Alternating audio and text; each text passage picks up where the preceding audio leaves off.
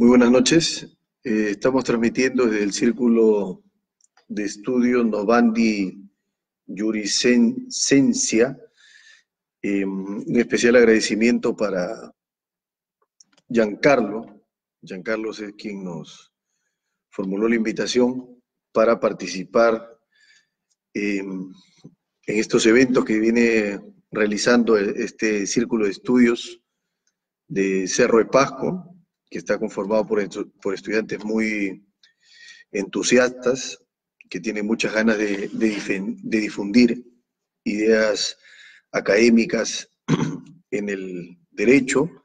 Y bueno, el tema que me encargaron para que podamos conversar hoy es sobre el tema de la, impugnación en general. Eh, lo voy a reconducir al tema de los recursos. Bien, bien, Giancarlos vamos a, trabajar el tema de recursos el día de hoy. Em, entonces, básicamente los tópicos que vamos a, abordar hoy en relación a los recursos es qué son los recursos, es decir, su definición. David, muy buenas noches. ¿Qué son los recursos entonces?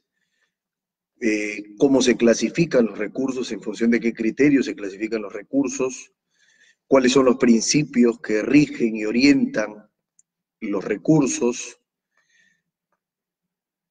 cuáles son los recursos que se regulan en nuestra normativa procesal, en el Código Procesal Penal de 2004.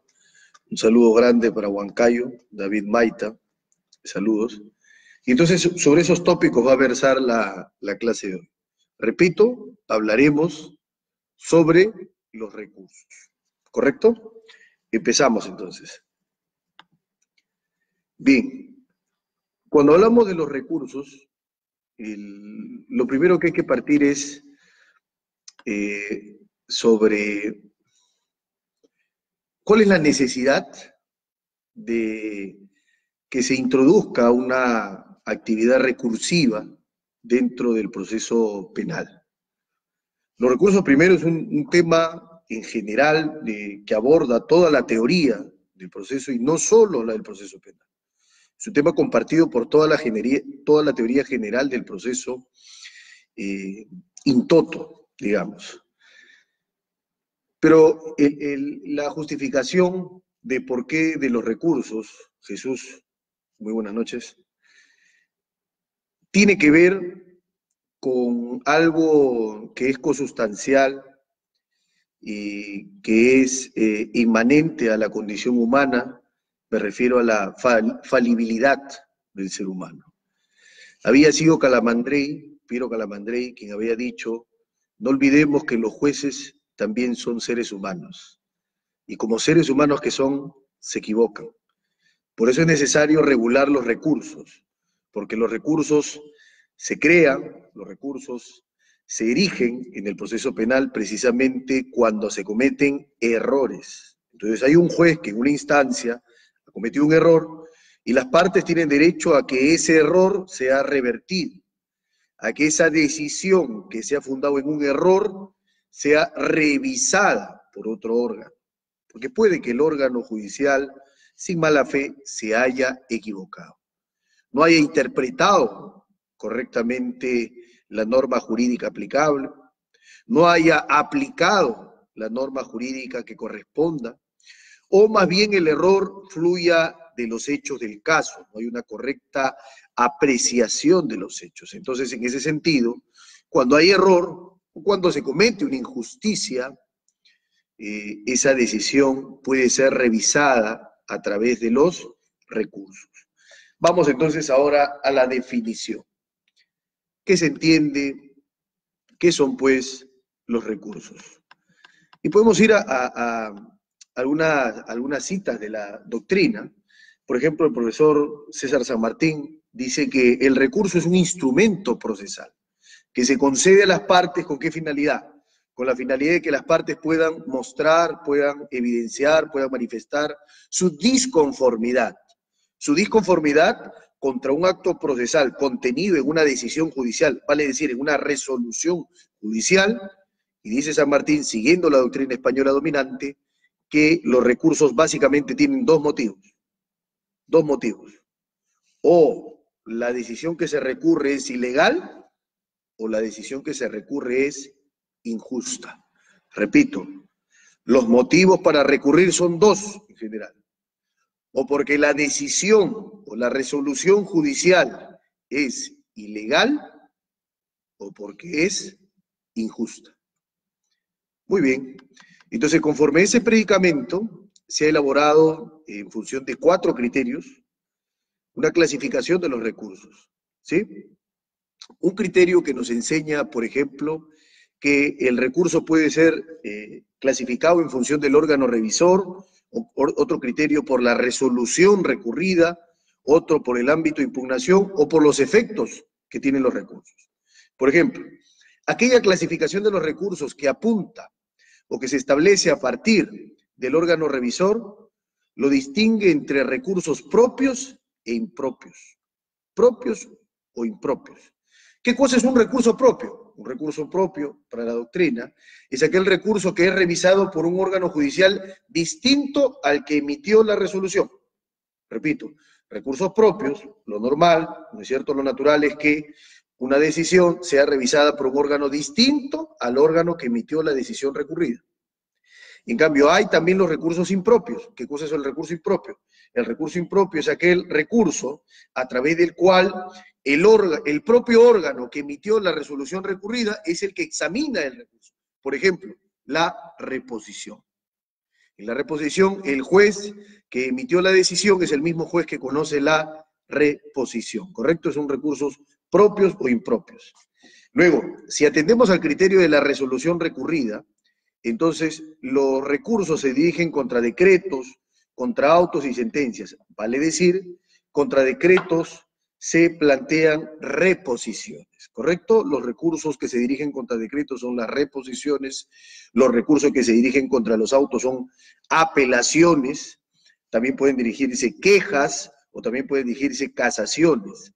Las sentencias, las sentencias se dirigen, ¿no es cierto?, apelaciones y casaciones y hasta la acción extraordinaria de revisión, ¿correcto? Si atendemos más bien a otro criterio, el criterio del ámbito de impugnación, si el criterio para clasificar los recursos es el ámbito de impugnación, entonces tenemos tres tipos de recursos. Los recursos ordinarios, los extraordinarios y los instrumentales. Los recursos ordinarios, ¿cuáles son? Los recursos ordinarios son los recursos que normalmente pueden ser impugnados, en donde hay una exigencia de procedencia o admisibilidad mínima, hay una fundamentación mínima que hay que hacer, como por ejemplo las apelaciones. Un recurso extraordinario, en cambio, es aquel que trae consigo una mayor carga de argumentación, una mayor fundamentación jurídica, por ejemplo, para que el recurso prospere. El caso de la casación. Cuando uno plantea una casación, o, peor aún, cuando es una casación excepcional, te exigen el desarrollo o el plus argumentativo de la, eh, de la necesidad de creación eh, del desarrollo de una doctrina jurisprudencial vinculante por parte de la Corte Suprema. es un criterio adicional. Entonces, eso convierte a la casación en un recurso extraordinario. Pero también tenemos los recursos instrumentales. Y los recursos instrumentales tienen que ver con un ámbito de impugnación. Los recursos instrumentales son, por ejemplo, los recursos de queja. Son aquellos recursos que no buscan un examen de fondo, los recursos instrumentales son aquellos que buscan que, al ser amparados el recurso, como la queja, eh, se trae consigo la posibilidad de que luego se pueda ver el fondo. Es decir, la queja lo que busca es que se pueda admitir el recurso. Entonces, recuerdo el caso de las quejas que se plantean contra las denegatorias de apelación o las quejas que se plantean contra denegatorias del recurso de casación, ¿no es cierto? ¿Qué se busca si se ampara la queja? Fundada la queja, concédase la apelación. Fundada la queja, concédase la casación. Y finalmente, podemos clasificar los recursos en función, teniendo como punto de partida los efectos que producen los recursos. Y los efectos son cuatro. Eh, existe el efecto devolutivo del recurso, el efecto suspensivo del recurso, el efecto diferido y el efecto extensivo. Estos cuatro efectos están regulados en el Código Procesal Penal vigente del 2004, el decreto legislativo 957. Por ejemplo, los recursos pueden tener un efecto devolutivo. Y el efecto devolutivo es el efecto clásico, es el tradicional. ¿Qué cosa es el efecto devolutivo? Quiere decir que eh, el recurso, ¿no es cierto? Eh, se tramita y se resuelve por un órgano superior, que es el que va a conocer el recurso, conoce, resuelve sobre el recurso, pero el proceso continúa. ¿Correcto? Eso significa efecto devolutivo, o sea, le da el conocimiento al tribunal adquem. El ACUO no conoce ya la cuestión, lo conocerá el adquem, pero el ACUO puede seguir conociendo el proceso y otros incidentes. Eso significa efecto devolutivo. Ahora, el otro tipo de efecto es el efecto suspensivo de los recursos.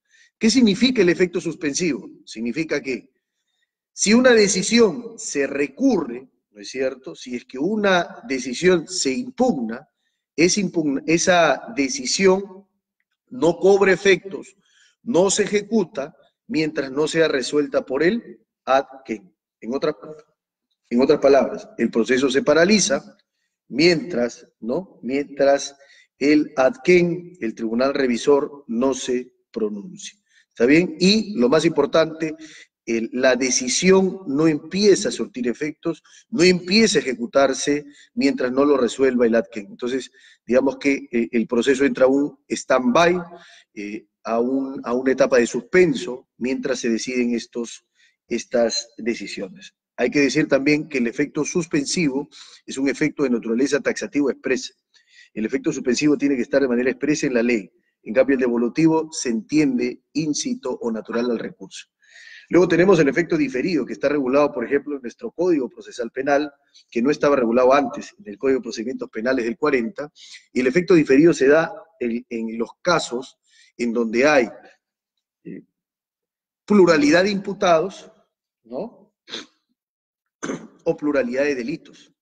En el caso donde hay pluralidad de imputados o pluralidad de delitos, puede establecerse el efecto diferido del, recurso. Uno, tiene que estar taxativamente regulado permitido por la ley. Dos, lo más importante, solo se permite el efecto diferido cuando no perjudique los intereses del imputado. Eso es importante entender. Hay, por ejemplo, un sobreseimiento fundado.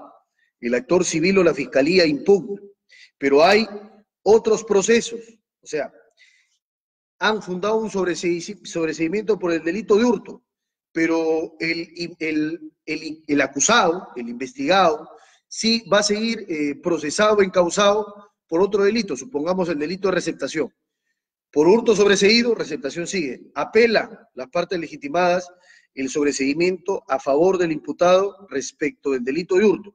Pero como continúa todavía la causa por otro delito, entonces el juez dice, concedo la apelación del fiscal o eh, del actor civil, sería más, más propiamente, concedo la apelación pero con efecto diferido. Es decir, la apelación recién subirá al tribunal quién cuando, no es cierto, se resuelva el principal. Mientras el principal no se resuelva, queda ahí, se reserva su, su concesorio, su, su, elevación de los actuados al tribunal Anquén, hasta que, no es cierto, se eleve el expediente principal. Eso es lo que significa el efecto diferido y se da en caso de pluralidad de imputados o pluralidad de delitos. Y finalmente tenemos el efecto extensivo de los recursos, quiere decir que cuando estiman, declaran fundada un recurso, eh, ese recurso va a tener efectos favorables, se va a extender sus efectos incluso para las partes no recurrentes, para incluso los que no hayan impugnado.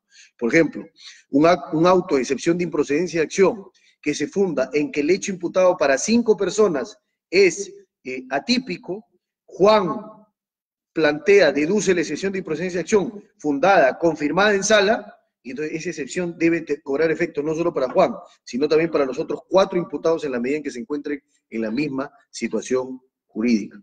Nulo un juicio, porque la prueba es una prueba ilícita y se le dio valor decisivo. Tres han sido condenados por eso, uno recurrió, los otros consintieron. A los otros dos también se les anula el juicio, o sea, se ven favorecidos o se le extiende el recurso de la parte que sí recurrió, ¿correcto? En la medida en que se traten de la misma situación jurídica, estén en la misma situación de quien sí recurrió. Luego tenemos como tercer punto los principios. ¿Cuáles son los principios que gobiernan, que orientan la actividad recursiva, los recursos? En primer lugar, el principio de legalidad. El principio de legalidad, ¿qué cosa quiere decir el principio de legalidad? El principio de legalidad significa que solo puedo recurrir si es que la ley me permite recurrir. La doctrina y la jurisprudencia son fuente de recursos. No es que la doctrina puede decir en qué caso se recurra, contra qué resoluciones se recurra, no. Eso lo dice la ley, principio de legalidad. Resoluciones materia de recurso, ámbito del recurso, supuestos de recurso, procedimiento de recurso. Saludos, Daniel. Saludos, Yolvin, de Huánuco, Pasco. Todo eso lo establece la ley. Eso es lo que significa el principio de legalidad. ¿Correcto? Luego tenemos el principio dispositivo. ¿Qué quiere decir el principio dispositivo? Significa que eh, los recursos, ¿no es cierto?, no pueden ser impulsados ni tramitados ex oficio, sino que las partes tienen que eh, disponer, tienen que impugnar, tienen que recurrir. La actividad recursiva es una actividad de partes, no es una actividad oficiosa de los jueces, ¿correcto? Luego tenemos el principio tantum devolutum quantum appellatum o quantum appellatum tantum devolutum, es decir, el principio de congruencia recursal. Hay un límite en el conocimiento del tribunal revisor. El tribunal adquén solo se pronunciará sobre los temas introducidos válidamente por el impugnante, no más. Es el objeto de su pronunciamiento, salvo caso de nulidades absolutas, excepción. Luego tenemos el principio de non reformato impeius o la prohibición de la reforma peyorativa, interdicción de la reforma peyorativa, que significa que en una apelación no se puede eh, agravar, no se puede perjudicar al imputado, desmejorar su situación jurídica en la medida en que el eh, imputado sea apelante único, en la medida en que sea apelante único. Luego tenemos el principio de formalidad, quiere decir que el recurso, ¿no es cierto?, está sujeto a determinadas formas. Entonces el recurso, hay recurso de reposición escrito, recurso de reposición oral, hay recurso de queja, hay una casación.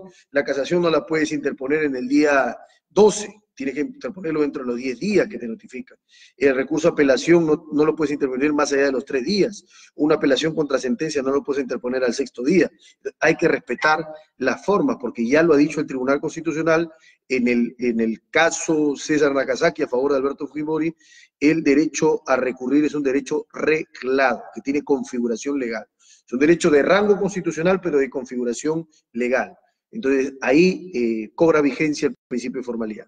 Luego, el principio de adecuación, es que hay que identificar bien qué recurso eh, corresponde y qué efectos va a cobrar. Tenemos también el principio de unicidad, también llamado principio de singularidad recursal. Quiere decir que para cada decisión hay un recurso que presentar y no otro, ¿correcto? Entonces, por ejemplo, si eh, se trata de un decreto, yo no puedo presentar una apelación a un decreto, tengo que reponer el decreto. Si se trata de un auto que pone fin al procedimiento, ¿no es cierto? Yo no voy a presentar una queja, yo presentaré una apelación o presentaré una casación. Si que lo que se trata es de cuestionar a través de una acción autónoma y extraordinaria, una decisión que ya tiene carácter de cosa juzgada, no lo voy a hacer a través de una apelación, presentaré la acción de revisión. Eso significa el principio de unicidad o principio de singularidad recursal. Para cada recurso, perdón, para cada situación obedece un recurso único, específico y no otro. Principio de trascendencia quiere decir, esto como último principio, que eh, únicamente, únicamente se recurre si es que la parte impugnante ha sido perjudicada o si se le ha impuesto un gravamen, se le ha impuesto una carga que afecta, que eh, perjudica su situación jurídica. Si que no hay agravios, entonces no hay recurso. Eso significa el principio de trascendencia. Finalmente vamos a hablar de cuáles son los recursos regulados en eh, nuestro Código Procesal Penal. ¿Cuáles son los recursos? Uno, el recurso de reposición. Dos, la apelación contra autos y sentencias. Tres, queja. Cuatro, casación. Y finalmente la acción extraordinaria de revisión. ¿Correcto? Uno, ¿en qué casos procede la reposición? Bueno, la reposición es un eh, recurso interesante porque es un recurso horizontal, se plantea ante el mismo órgano que se está recurriendo la decisión, ¿no es cierto? Eh, es un recurso que, no, que tiene efecto no devolutivo. Eh, luego, ¿qué más hay que decir sobre la reposición? Está sujeta a determinados plazos que están en la ley, tenemos luego la apelación, que es el recurso más amplio. La apelación se dirige contra autos o sentencias. Es el recurso por excelencia, porque a través de la apelación lo que se cuestiona es que hay vicios, que hay errores que hacen que la decisión deba ser reformada o bien revocada, es decir, dejada sin efecto, sustituida o bien anulada, ¿no es cierto? Y su decisión debe quedar a manos de otro órgano judicial inferior. Yesenia, salud. Em, luego tenemos el recurso de queja. El recurso de queja es un recurso básicamente frente a denegatoria de recursos. Es un recurso instrumental. ¿En qué caso procede la queja? Procede la queja cuando habiendo presentado la apelación te la negaron. Quiero no, la pretensión no es clara o no es concreta. Entonces tú planteas queja ante el órgano superior y dices, pido que se admita mi recurso de apelación. Si admite y funda la queja el órgano superior, entonces ordenará al, al inferior que conceda el recurso de apelación. ¿En qué caso se presenta queja? Como recurso instrumental. Cuando, cuando presentas una casación contra sentencia de segunda instancia, te la rechazan, vas a la Corte Suprema, presenta queja y dices, señores la Corte Suprema, pido que declaren fundada la queja y si la Suprema te da la razón, funda la queja y ordena a la sala que conceda la casación y que le eleve a la Suprema.